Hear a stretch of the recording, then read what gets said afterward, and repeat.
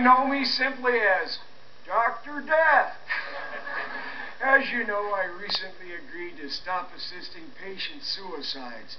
But now my years of experience can be yours in my new book, Dr. Kevorkian's Book of Home Remedies. You know, doctors have long known how to cure common ailments with simple items found around the house. Foot pain got you down, son? Then just soak that foot in a bathtub full of hot salt water with a cup of vinegar and a tablespoon of castor oil. Then just add a string of Christmas lights.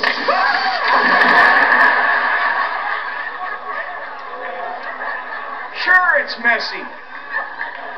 But you won't hear him complaining. Doctor, I'm so depressed. I've got a splinter in my finger. Well then, try to find a good vein.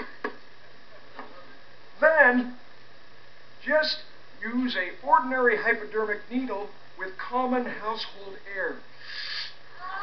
Inject a small bubble of air directly into the artery. Uh, are you sure about this? Positive. Works every time. Dr. Kevorkian's Book of Home Remedies is full of thousands of these handy cures for such ailments as burns, scrapes, scabies, even headaches. Just listen to one of my recent patients. I suffer from terrible migraines. Regular doctors couldn't do anything for me. But then Dr. Kevorkian's book suggested many household items to alleviate my pain. First of I